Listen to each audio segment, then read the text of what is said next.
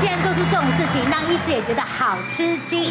哦，减肥挖吐吐血，这边是补胎盘，所以补到出血性休为什么会跟你有关啊？啊对啊，这边哦，那个病人哦，他大概四十出头岁，他他送到我们医院急诊的时候，就是他在家里面突然昏倒。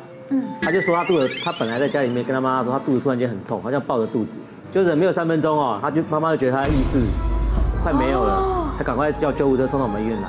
到我们医院的时候，其实我们跟他讲话，他不大理我们啊，因为那时候量血压就六十几。可是呢，我一摸他的肚子哦，肚子就鼓得跟青蛙一样，其他人很瘦，肚子鼓得青蛙一样。我们超音波一扫，里面通通都是水，都是水一样的东西，但是我们猜就是血啦。所以我们那时候根本就没有做其他检查，就直接就连血都没有抽，就直接送上去开刀了。等下，一开刀的时候那个血就啪啪就冒出来嘛。我们在上面血吸完之后，就是发现出血点在底下，结果是那个子宫上面有一个那个子宫肌瘤，大概十五公分。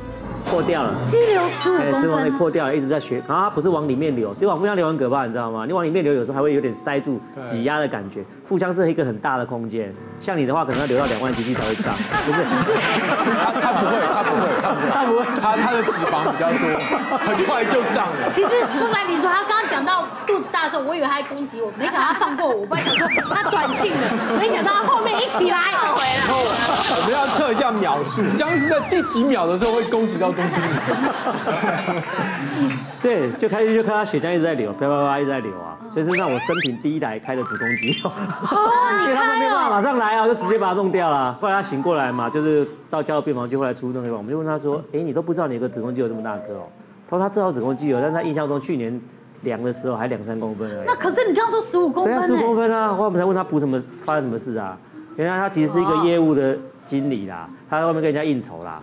他觉得他要保持他美貌，他有办法，他觉得他业务谈的比较顺，所以他一直有在买外地进来的胎盘素。哦，对啊，其实就变这样，可他自己根本不知道。哎，因为他没有任何的症状哎，他也没有觉得不舒服呢。他第一次不舒服就是流血流到快休克，哇塞，对，他根本都不知道而。且两三公分，一年之内长到十五，这还蛮可怕的。哎，刚刚是何医师也在讲胎盘啊。曾经有一个妈妈啊，在她自然生生完之后，就特别交代我们说要帮她把胎盘留下来，她要带走。我们说啊，为什么你要带走？她说原来是她的嫂嫂，她嫂嫂说她跟他要胎盘，她要拿去做成中药的紫河车，要养颜美容补身体这样子。那因为这个胎盘是病人的所有物嘛，是他身体组织取下来的，所以那是他的所有物，他他要带走，我们也没有权利干涉，说不，所以我们也只好让他带走。可是我们有交代他说，因为这个东西其实你在这种温度下面，然后又有血淋，就是有很多的血血液，其实是很好的细菌培养皿。那我们就很怕滋生细菌，所以我们就千交代万交代说，这个东西其实不不。嗯，不太好啦，对，但是他要带走，我们也没有阻止他。然后我们护理师还很好笑，还去制冰机帮他包了一包冰块，哦，再让他带走。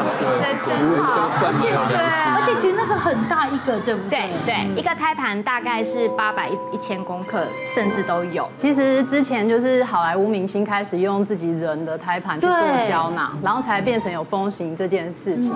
但是因为目前不管是台湾或是内地买卖人的胎盘，其实都是犯法，就是不可以的。那目前台湾的中医里面，就算有这个胎盘，它其实是用杨梅梅的胎盘。哦，对羊。对，它不是用人，因为就是同类相食，在目前还是就是有一点道德上面、伦理上面的争议性，是因为害怕会传染。然后对我们来说的话，我们是认为是跟体质有关，因为就是性激素其实目前已经认定就是有可能会有一些癌症的引发风险。然后再来就是雌激素，就是胎盘这件事情，它其实是温的。性温，那有些人其实是不适合吃的，但硬要为了美容而吃，这样其实是不适合他的。然后还有就是来源不明，可能会过敏，就是整个人荨麻疹一样那种事情发生这样子。对，那我举这个比较极端的一个个案啊，那大概是五十多岁的一个妈妈，那他其实，在大概四十岁左右，他就停经了，他算比较早停经的，所以他陆续都有在补充荷尔蒙。那补充荷尔蒙，我们知道其实会造成一些癌症的风险，这样，不过他中间都完全没有去追踪，所以等到他发现有异常出血的时候，那个时候已经帮他诊断是子宫内膜癌。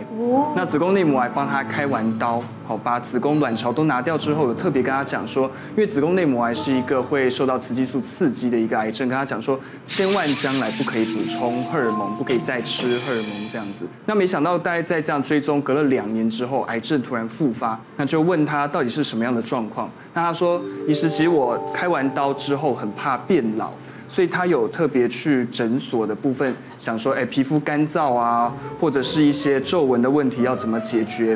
那他说诊所的部分就是有建议他打一个针，好，其实俗称胎盘针，类似这样子的一个状况，回春针。那他也没有跟诊所的部分讲说他有癌症的病史，就这样子陆续打打打打打，那我们就在怀疑说可能是打了这个回春的针里面含有雌激素的成分，让他的癌症提早复发。哦，所以可以可以打那个针哦，蔡医师不。建议耶。哦真的哦啊就是有时候病人会问我们说，可不可以打一些让她变漂亮的是胎盘素什么，说不合法的事情不能做，哦就有一定的风险，不建议。对可是女生为了漂亮哦，真的什么事情都愿意尝试。对啊，真的。为了除萝卜腿烧掉小腿的神经，这个真的太 over 了这吧个？这其实，在韩国很盛行。有他没有讲，就说很多对，很想韩国要小腿非常盛行。很漂亮。你看那个腿那么漂亮啊，因为腓肠肌啊，其实女生穿高跟鞋穿久了，那两块腓肠肌会非常肥厚。嗯，那我现在说的这件事情，就是说有些女生为了不要那两块这么肥厚，影响她穿裙子的线条，她们就干脆会请医师，有些医生会把那个腓肠肌的那个负责的神经，叫她运动那个神经，把它烧断掉。那没有神经去叫这个肌肉运动，肌肉就萎缩掉。哦对，那这个还不不夸张，还有更夸张说，为了还要不想要等那一两个月，直接叫医生用旋转刮刀把那两块肥肠肌转出来，把它刮掉。哦，对。转出来是什么意思？把它它那个旋转刮刀一个小洞进去，然后把进去肌肉把那个肥肠肌掏空了，直接消肌对，肉，直接把肌肉对消掉。那为什么不用肉毒杆菌？哦，因为肉毒杆菌常打的女生就知道哦。其实我我也我们也有一些病人哈，他是想要打肉毒杆菌，但肉毒杆菌就像灰姑娘，十二点到的时候，她这个半年时间到，她就会回。来那有人其实他长期打下，他觉得好烦哦，那他就会去做这件事情哦。那你如果没有腓肠肌的时候，走路不能走太快，会跌倒。是哦，他会跌倒，然后他鞋子要穿比较高一点点，船型那个楔形鞋，不然他也是很容易会滑动。哦对，所以每一个肌肉都有它的功能，所以那这些女生可能是觉得说，呃，我常常要去打，那她没打，我就肉毒杆菌消失，时间到了。那她又肥厚起来，那干脆她做一个永久性的，因为有些为了爱美嘛，所以她就会无所不用其极去做这些事情。那蔡医师这里有没有肥肠肌？你可以帮我拿。肥肠肌在脚，那边有腹直肌啊，不要挖洞给自己跳，这个虎视眈眈在抓你语病。我忘记了，我不应该透过加规训问蔡医师。刚刚差一点就要把肥肠肌都拖出来。不过女生的困扰，为了爱漂亮真的困扰很多，对不对？对，我们来特别讲跟呃很多女生会关心的议题。是第一个就是脂肪堆积瘦不下来，我相信很多女生会想要，你笑什么笑？没有，我在哭啦，我在哭。我想说，你笑的意思是说，我凭什么笑人家？我在哭，我在哭。其实堆积也不错啊。最有资格说话的人，伪君。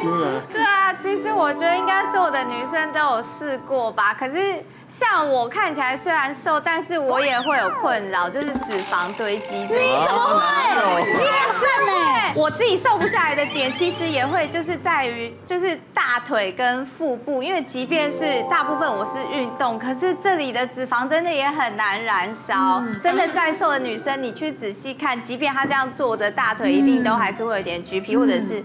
你除非是那种真的很健美，对很难的，医生们怎么办啊？但是其实我知道很多女生都有这样的困扰，就是一直瘦不下来，然后小腹的脂肪一直囤积，然后可是有没有到最后发现，哎，其实没有那么简单，有可能是疾病在作怪，有没有？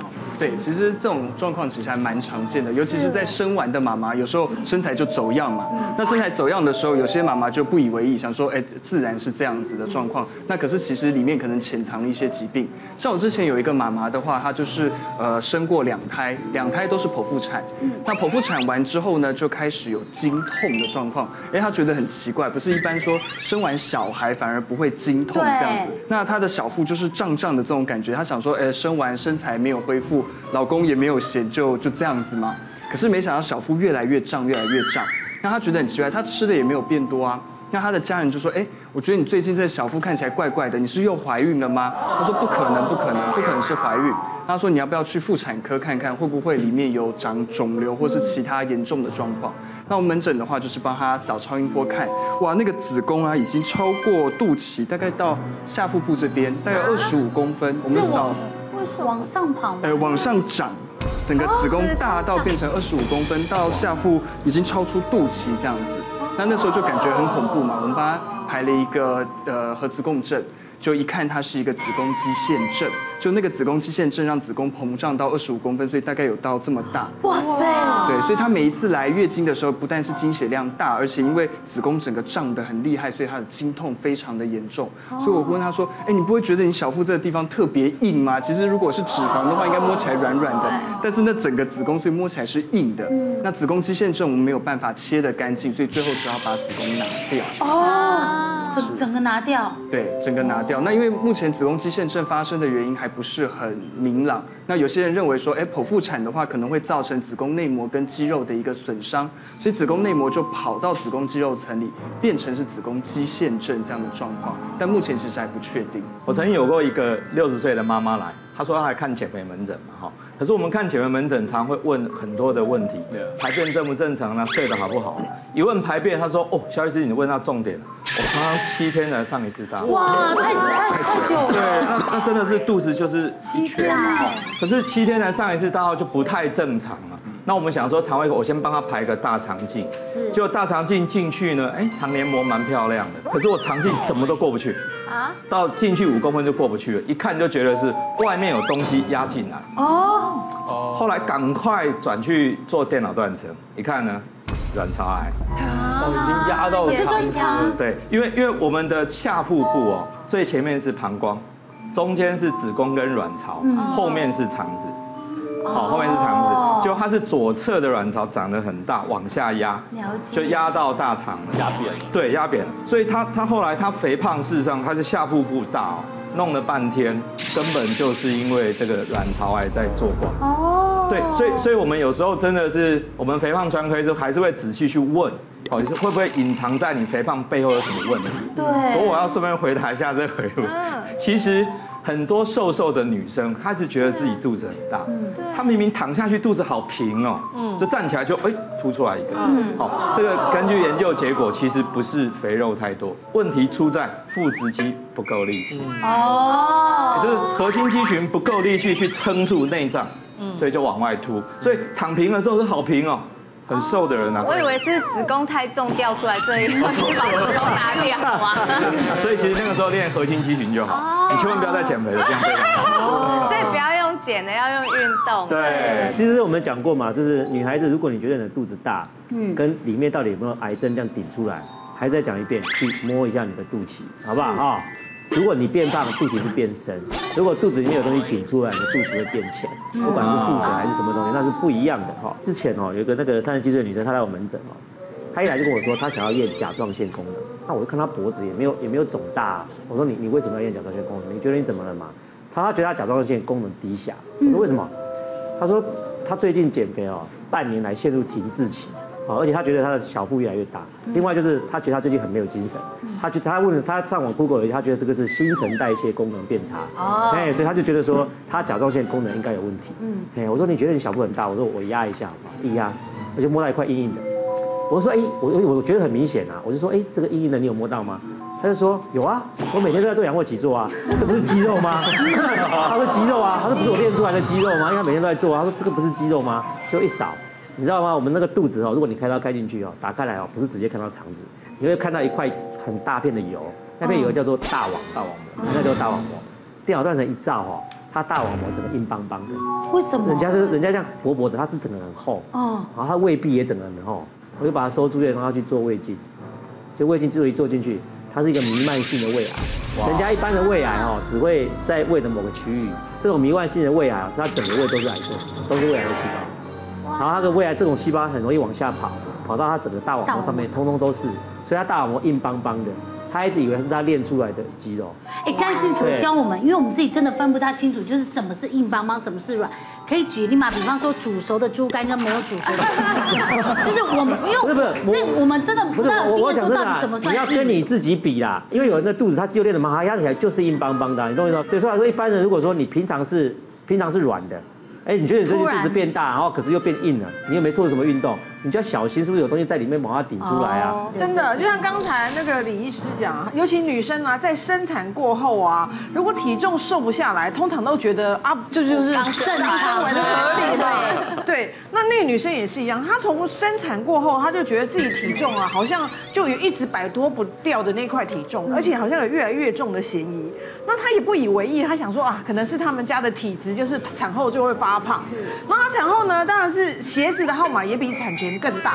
直到有一天呢，他就跟朋友聚餐，那在聚餐的席间呢，就有一个医生，然后他就聊到这件事，他就说，哎呀，他自从反正生生完小孩之后啊，整个身材就走中啊，哈，他说他连那个戒指啊都拔不下来，哦，就是手也大，就这个戒指拔不下来。后来那个医生听着听着就说，我觉得你应该去检查，因为你这个真的不像是产后肥胖，就一检查就发现他真的不是产后肥胖，他是脑下垂体长肿瘤。哇塞，那不就好险？那个医师觉得怪怪的。那个肿瘤呢？就是影响了，就是他可能是有一些生长激素或什么东西分泌过多，造成类似肢端肥大或一些相关的现象，所以他脚会变大，他身体有些甚至肚子也大，然后手也变厚。可是这个真的太难察觉，真的就会觉得是变胖了。有啊，刚好他碰到医生，对对其实其实我们真的碰过那种朋友啊，他。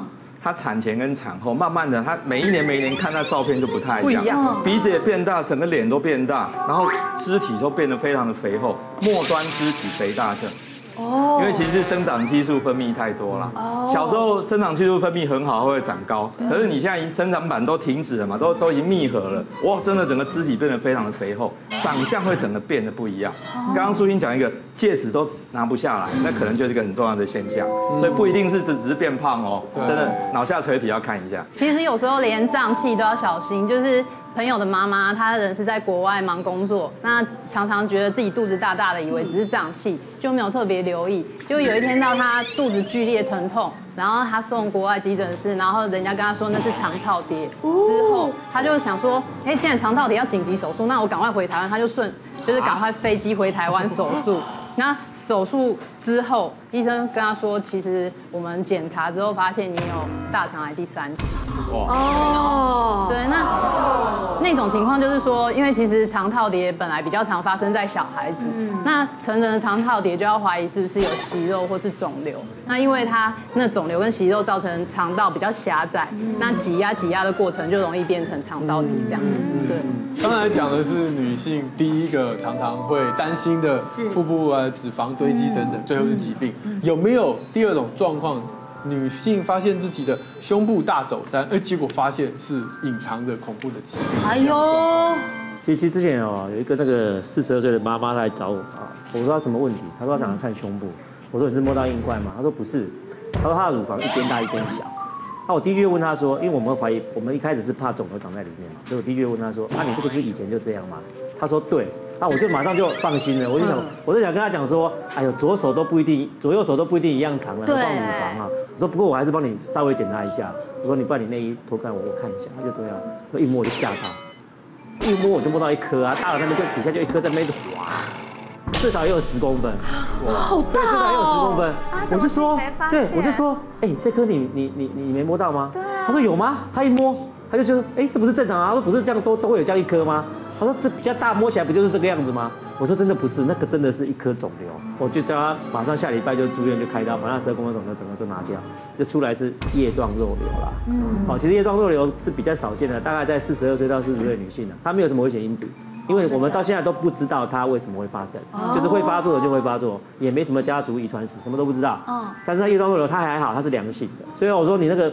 胸部一大一小哦，当然了，如果说你是以前就这样，大部分是没什么问题的。嗯。但是你还是稍微摸一下，要有一点 sense 啊。嗯。不过最好还是让我们照一次，确定你只是单纯的，真的是一大一小，不是其他原因啊。嗯。其实有些女孩子真的很天，你知道吗？很多女孩子不是副乳，大家都知道嘛。对就手举起来消掉，手放下去夹一个在这边。对。她你们都不敢穿短袖去游泳嘛，因为就就一一放下来就夹着嘛，一收起来就没有。三十岁的女生来找我，三十岁我想要把我的副乳处理掉，我那时候还没看哦，我说为什么？因为一般来讲，副乳是良性的嘛，我们大部分只有美观的问题才要处理掉。他说对啦，因为不大好看啦，而且最近那个地方好像我觉得我副乳变大了。哦，他觉得副乳变大了。我说哦，真的，我说哪一边？哦，他就手就举起来。但是我就有点吓到，因为他举起来一颗在这边很明显。我就说啊，你你觉得这个是副乳？他说对啊，不是在腋下就副乳吗？我说你这样上来下去都一颗这么明显啊，硬邦邦的，你觉得这是副乳啊？他说不是吗？他听到我这样讲，他他他有点害怕。我说你是等一下，我就是超音波帮他一扫，他这颗竟然是乳癌耶！哦，那不就好险？他那时候吓到，他他就他就说，可是这边不是已经没有乳房了吗？为什么会长乳癌？他真的有副乳，你可能搞不清楚，副乳有两种。一种叫做假副乳，假副乳就是我们讲的手举起来不见，手放下来有，因为这是油而已，只是脂肪的分布在这边呢。另外一种是真副乳，是人家的乳房组织真的有长在这边。嗯，哎，所以有的人甚至那个副乳厉害到什么地方啊？它还有个奶头在这边。对，所以它哺乳的时候这边有奶，这边也有奶。哎，它是真，可是它这个奶头已经退化掉，可是它乳房组织还在这边，它是真的有副乳在这边。哦，可是它后来它的乳癌竟然长在这个地方，其实它这个已经看到半年多了。好在今年的夏天，他想要去练游泳，他觉得很难看，要不然他不知道摆到什么时候。对，他可能真的以为他是副乳，他就以为他是副乳啊，因为大家都说那个是副乳啊。其实有些很女生呢，她是担心自己会那种两边，比如说不对称啊，或者什么产后下垂啊，他们就想说，那是不是自己来造三一下？他们最喜欢用的其实就是那种我们叫塑身衣，嗯，或者是调整型内衣。那医生说他没遇过女生很猛的，他觉得他可以根本就可以把小腹的肉都挪挪挪挪到胸部来当胸部用，就是背肉也当胸部，用，腹肉也当胸部用，真的调到那种你可以躺下来当枕头，就是在这就很强啊。然后那个女生也是哦，穿上之后她觉得信心哦真的十足，真的太好了，所有的地方的肉都可以移到这边。然后可是她就觉得很奇怪，自从她开始信心十足之后呢，她觉得第一个她晚上睡眠变很糟，嗯。然后第二个呢，他常常觉得他会咳嗽病很严重哦，然后甚至呢，有时候他常常觉得就是有点不舒服，他就觉得他胃痛，嗯，而且他穿那个塑身衣的时间非常长，他一天会穿十二个钟头，哇，因为他觉得真的是太好看了，他真的太喜欢看了。就后来呢，是后来因为他严重夜咳到他觉得真的没有办法睡觉，然后去看医生，医生讲讲讲讲，后来想说，我觉得你。胃食道逆流，对你应该不是，你不是找我们耳鼻喉科，你应该是要找肠胃科，哎，就去肠胃科检查，果然他非常严重的胃食道逆流，而且医生说那个胃镜下去啊，他那整条食道啊。就都有一条红线，有没有这样子？整个胃酸吃过，整个吃过一条超明显的红线哦。他说你这个非常非常严重哎，因为他说你这个实在太紧了，紧到你那个负压太大，负压大到把你的整整个胃的压力很大，把它让它往上喷了。所以造山也要小心呐，这个太太严重，太大的压力又时间太长，其实会造成潜在的危害。这个在我们肠胃科哦，医学史上。第一个记录胃食道逆流的案例，就发生在中古的欧洲。哦，穿马甲，对啊，穿马甲，然后到宴会上呢，喝鸡尾酒，吃甜食，哇，胃酸逆流，所以素的太厉害，确实很严重。其实妈妈很伟大，生生产完真的是，嗯，该走走山的走山，然后不该走山的也会出问题。就有一个二宝妈，她生完之后哺乳，但是因为要照顾大宝又很累，所以她常常有时候奶都没有挤得很干净，就会有一些残奶在里面。然后久了之后就会塞住嘛，塞住之后就会开始发炎。但是她又没有时间来看医生，所以就一拖再拖，拖到她整个就是。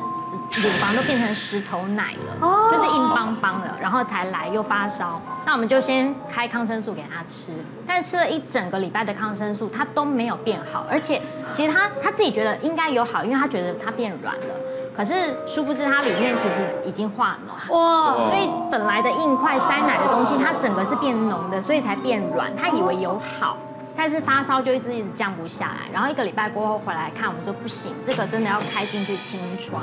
然后就越挖越深，越挖越深，因为你要清干净啊，你不能有一些残留的呃烂的组织在里面，所以越挖越深，整个它本来这样一个乳房大概被我们削掉一大半。哦，那削掉一大半那个地方就会有一个死腔，就是我们所谓的 death space，那那个死腔的地方你不能让它空在那里，对，你要让它长肉回来，所以你必须填充湿的纱布。那这种湿的纱布，可能每一天你都要换。刚开始你可能一天要换个两次、三次，然后你就是湿纱布要慢慢塞、塞、塞，把它挤满。然后你抽出来的时候，它因为它整个都是脓跟血水，你抽出来那个味道真的是。所以那个病人就这样子在我们医院住了两，开完刀就住了两个礼拜。它虽然慢慢后来有长组织出来，但是它不可能长到原来的形状，所以后来它虽然伤口关起来愈合起来，它的乳房整个大变形，就必须去穿调整型内衣而且那个真的是开一个洞进去，对，真的是把它挖一个洞进去去清。还是蛮难忘的一个。对啊，放诸天下都一样啦，就是大家大部分都是喜欢胸部很大的女生嘛。那呃，我们就遇过一个女生病人哦，她就是想要也是要让自己的胸型更好看哦，那她就是会很仔细的挑这个内衣，那也是穿这个调整型内衣，但是她可能就是说穿的比较紧，又又推又挤的哈，所以她的皮肤有这个，尤其是乳头的地方哦，就很容易摩擦到。其实，在我们门诊蛮常看到这样的情形。那可能一开始只是红痒，有点破皮，然后他不以为意，想说啊，不然我可能内衣再换一下。哎，怎么换哈？他那个乳头就是一直跟那个乳晕的地方就是一直红跟破皮，破皮到甚至有点老疼，哦，有点流组织液的一个这样的情形。我们就跟他说这个不太对劲哦，你这不是普通的湿疹，或者是说呃摩擦的问题。后来帮他做一个切片检查，发现是一个比较呃没有那么常见的一个叫做我们叫佩杰氏病。哦，那其实它的病理组织还蛮好认的，所以它是一个用湿疹来表现的一个乳房的癌症，所以是非常少见。癌症对，大概在乳癌呢，问家人就知道，大概百分之一左右的一个比例，所以很少见的就是会，你会以为它是湿疹，可是医生什么时候都会觉得它怪怪，就是说你给他药物治疗。反反复复用最好的药了，它还是没有起色。你已经很小心了，它还是一直破皮。那它会痒吗？像湿疹会有，也会有一点痒感。那真的很像，非常难认。大概有两点可以稍微分一下了哦。一般的湿疹哦，它大概就在奶头的地方，可是你摸底下它还是软的。可是这种胚基底粒子哈，它你摸底下它还是会有点硬邦邦的。底下是指哪里？就是乳头底下，你一摸它周围还是硬的。哦。哎，因为它的那个，它会沿着那个癌细胞沿着乳管这样长出去。有点塞住的样子，所以它除了乳头之外，乳头变红之外，它旁边的组织都会有点硬硬的。嗯。第二个就是，如果是一般的湿疹哦，你擦类固醇，它至少会好。对。哎，至少当下会好一下，也许它会复发。嗯。但是这种毛病哦，你怎么擦它都不会复发。这好难分哦，对不对？嗯。脂肪的问题，乳房的问题，女生还在意就是肤况。哦，那个肤况不好，而且我背后隐藏是严重的疾病。对啊，像我自己就，因为我自己本身的习惯就是，其实就是应该很多女生也会这样，就是生理期来的前后，对，就会很容易长痘痘，然后又加上有时候我们工作要熬夜什么的，所以就是气色也不好，然后又长痘痘。我之前就是还会长到整个脖子，然后胸口，而且整个连背都有。我去皮肤科，然后请皮肤科那种医美的医生，他帮我们挤，然后消毒上药，整个背啊，然后脖子这边整个这样弄。我就想说，哦，那然后清掉就好。可是他就是一阵子又复发，就清掉没多久他又复发。后来就是也是我的皮肤科医生跟我讲说，他说。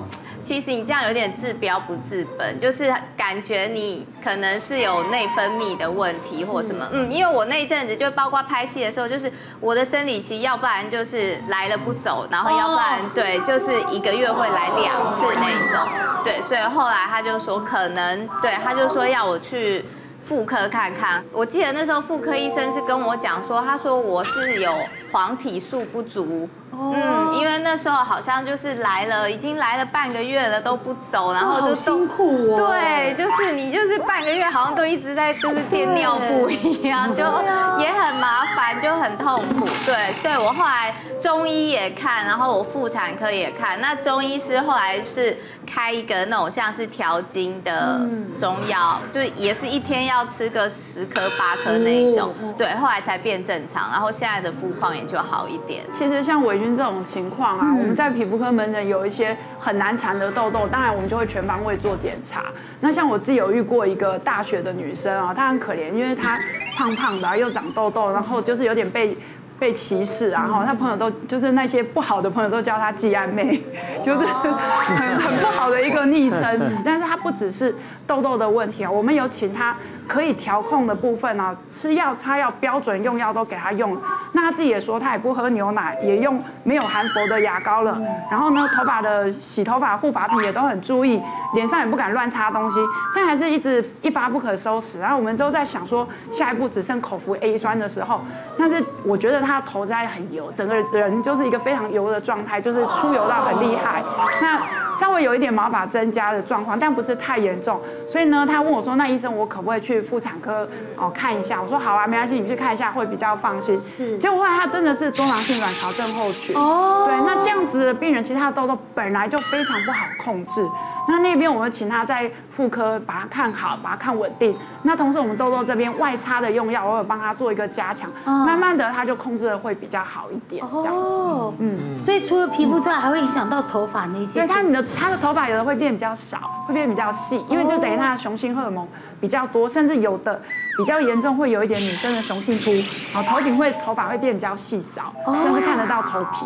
是哦，哇塞，这个也辛苦了。对啊。我之前也有个类似的病人，就是也是跟伟俊一样，是被他皮肤科医师叫来看看妇产科。然后我就说好，那你月经呢？他说我月经就是不规则啊，有时候爱来不来的，有时候也是跟伟俊一样，这样一个月来两次这样。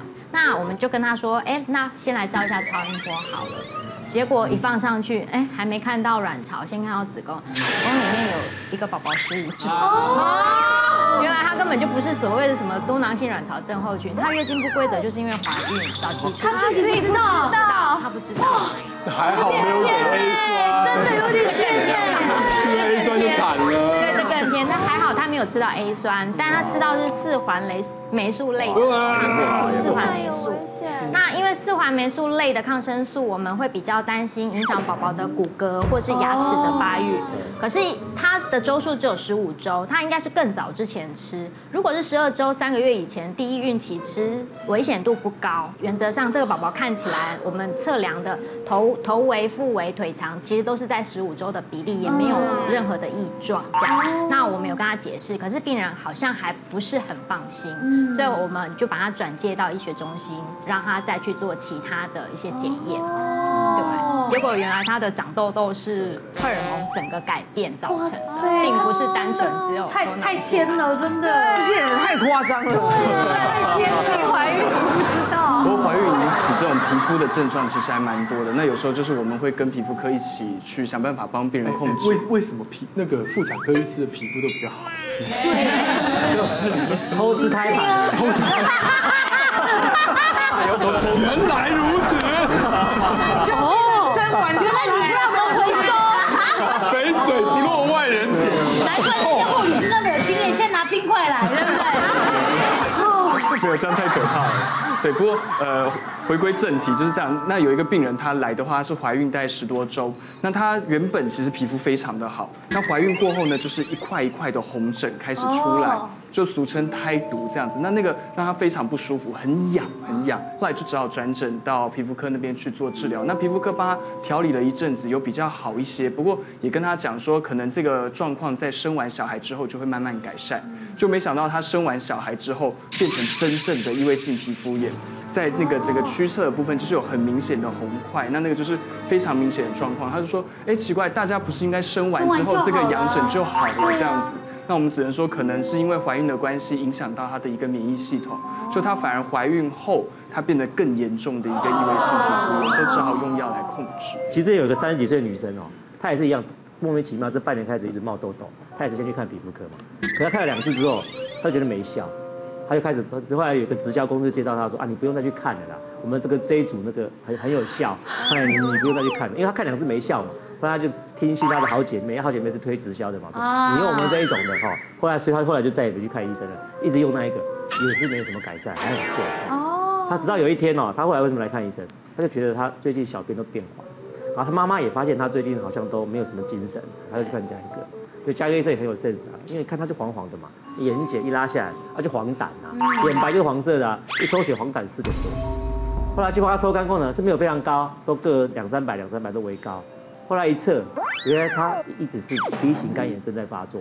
啊他这半年可能 B 肝已经发作半年了，他他可是他没有说发作到说一下子就让他肝衰竭那一种，他可能是慢性的活动型的那个 B 型肝炎。这半年不知道为什么原因，就是一直在发作。嗯，发作造成他肝功能在下降。肝功能下降的时候，你知道吗？身体有一些荷尔蒙是需要代谢掉的。比如说以女生而言，如果你肝脏功能不好，身体还女生也有男性荷尔蒙嘛，变成男性荷尔蒙代谢的不好的时候，这些男性荷尔蒙在身上就会造成你冒痘痘。对，所以后来他转到那个肠胃科去治疗 B 肝，B 肝控制下来之后，四个多月之后，他痘痘就完全就消掉了。哦，对啊，所以他那个是肝脏不好从皮肤上冒出来了。嗯，所以你这些皮肤或是毛发突然的变化的时候，你真的还是来可以看一下医生，让我们查一下啦。对，我刚刚讲肥胖的肥胖的病人很多有便秘的事情，那么他们问的时候呢，说哎奇怪，你皮肤怎么会那么那么暗沉，就会说容易长痘痘。因为一样就是好几天才排便一次。可是我们知道，大肠本身是一个吸收的器官。你几天不上大号呢？大肠的黏膜会把那个里面的水分慢慢慢慢都吸干。吸干的时候呢，便便里面的毒素也会随着这个血液就进去。那进去里面通过一条很重要的血管，叫做门静脉。这条静脉就要进到肝脏去。可是你一下子进来太多毒素，肝脏有时候真的解决不了，解决不了会散到全身去啊，真的是皮肤就变得很差。哦，皮肤变得不好。那第二个是我们在肥胖门诊常常碰到一种哦，我记得有一个二十二岁的女生，她大学毕业准备去游学，游学的暑假呢就来减肥门诊。她来的时候很特别，她的脖子这边长一条黑线，非常清楚的一条黑线，长到连右边的脸颊都是。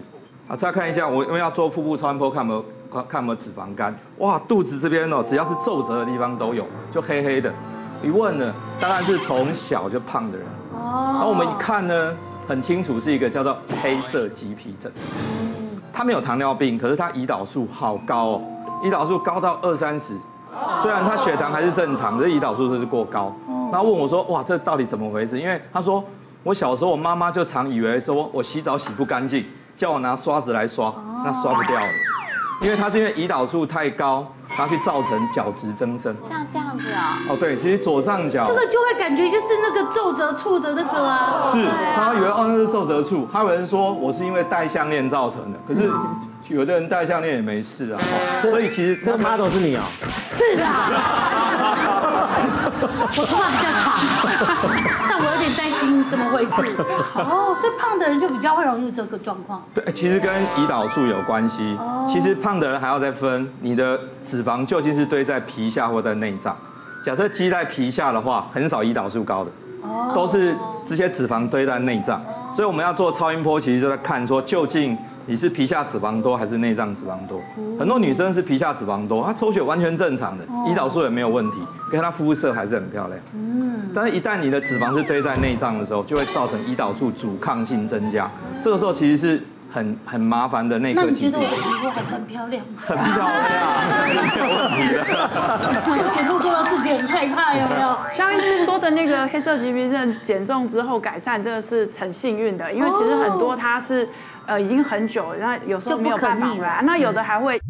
好神调查局要来问问看，长期太晚吃饭，小心得胃癌，有那么严重？对啊，一样是吃饭，早上吃、中午吃跟晚上吃，难道会有不一样吗？可是这个网络留言说，真的有不一样。他说呢，因为呢，我们的胃的黏膜这个上皮细胞，它的生命周期是很短的，它在两到三天呢，它就要更新一次。而它更新的时间是什么时候呢？他说就是这个晚上的时候了。所以如果你的晚餐很晚吃，或者你一天到晚吃宵夜的话，它就没有时间更新啦。加上呢，他说如果你呢食物存留在里面的时候，它是不是刺激胃酸分泌？对，这个胃酸分泌是不是一直在刺激我们的胃黏膜？是不是长期以来造成溃疡？所以它又不能更新，你又一直刺激它，就会可能造。造成我们的胃癌的出现，乔医师有那么严重吗？听起来做斗裂的没有？是听起来做结尾，但是呢，我们我们整个流行病学的调查发觉说，胃癌真正的病因哦，第一名就是幽门螺旋杆菌。哦，啊，第二名呢是你喜欢吃烧烤，喜欢吃腌制品，嗯，还有呢，年龄比较大的比较容易。男生比较容易，最后一个呢是家有家族遗传，哎，所以都没有关系，吃比较晚的啊，是，但是呢太晚吃会有一个问题，嗯，因为你假如说吃宵夜的话，容易变胖，哦，那体重过重，世界卫生组织发觉说。事实上，体重过重是胃癌的一个危险因素。哦，所以是这样子连接的关系。对，所以假设呢，你只是晚上吃了宵夜，可是你体重没有上升，那基本上呢，你是胃比较辛苦一些啦，因为晚上还要再做工。但是假设你想要不吃宵夜，我给大家建议是，你必须要早睡。哦，因为我们胃的排空时间只有四到六小时。嗯，那你假如说下午六点吃饭，到了十二点还没睡觉，那你就会觉得饿。假设说你一定要晚睡，那吃东西请小心，吃吃的时候不要超过一百卡。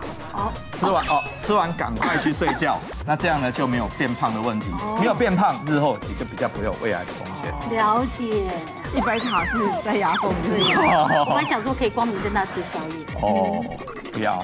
说它是呃已经很久，那有时候没有办法那有的还会一加二，就是还会长一些小息肉。小息肉。对，那就会。穿插在里面，那主要黑色棘皮症是它我们的很胖的时候也会分泌，我们叫 ILGF 啊，就是类似胰岛素的生长因子，那就会让你的表皮不断的生长，所以皮这种皮摸起来是粗粗像天鹅绒的这样的一个触感，没错，然后会灰灰脏脏。那要提醒就是说，如果你周边有这样的人，一定要提醒他不要大力去刷洗，越刷越厚，越刷越黑，哎，会有这样的一个情形。哦，其实像中医，我们认为肝会肝经会绕乳头。然后，所以有一个患者，他就是来找我看他乳头的，因为他他自己觉得他是呃会有肉芽的体质，他眼周有很多肉芽，所以他就他就说，哎，医师，呃，因为大家都是女生，你可以帮我看一下我乳头吗？因为我我乳头最近它上面长一颗，然后那一颗上面又好像会有白白的，一给我看，我发现，哎，那乳晕旁边有好几颗，不是只有一颗，然后他指的那一颗确实有一点红肿，然后有一点白白的分泌物，然后。我跟他说：“你这其实不是痘痘，它有可能是乳腺炎。”他说：“怎么可能？”他说：“我未婚，然后又没怀孕，怎么会有乳腺炎？”那那其实未婚没怀孕的人也都会得乳腺炎这样子。对，然后其实像我们中医的观点认为，他这个体质其实叫做肝郁化火，因为只有乳头部分是肝经管。然后，呃，后来是用调理的方式，它那几颗就慢慢消掉，这样子。哦。那如果像遇到痘痘这种状况，长不停的话，有没有什么可以调理的方法？就是像我们中医的话，我们认为痘痘其实有不同的体质问题。那其中一个就是刚刚讲的肝郁化火这一种。那其实这一类人在现代人很常见，就是压力很大。